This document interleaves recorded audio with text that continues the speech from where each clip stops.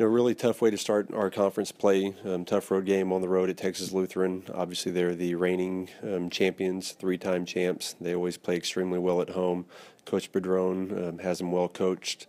Um, tough way to lose the, the opener, but I, I, have a lot of confidence in our guys. Had had some people step up big when injuries popped up again um, this week. Um, we're going to continue to work on protecting the football this this week. Um, we can't give a good team like that four extra opportunities, um, but again, we're playing well in a lot of a lot of spots. Um, they're a really really good team, and we've got a a really tough opponent coming in in Southwestern this weekend. They've continued to grow. I believe they have 34 seniors on their roster, so we know that we have to have a good week of practice ahead to um, to try to move on.